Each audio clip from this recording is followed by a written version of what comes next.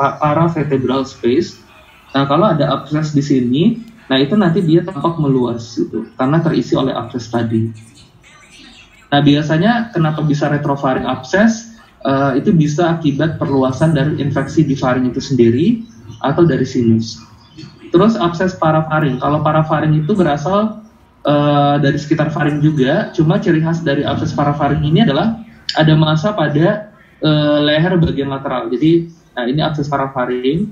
Nah, kalau kita lihat nanti di leher bagian lateralnya atau di sini nih, nah itu seperti ada masa.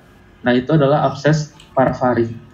Terus ada abses submandibula. Kalau abses submandibula itu biasa ditandai dengan adanya fluktuasi pada mandibula. Jadi ada abses di mandibulanya.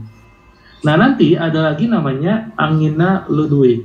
Nah, kalau angina Ludwig itu pada lehernya itu nanti bakal terbentuk massa yang keras seperti papan. Jadi mirip abscess mandibula, tapi nggak fluktuasi.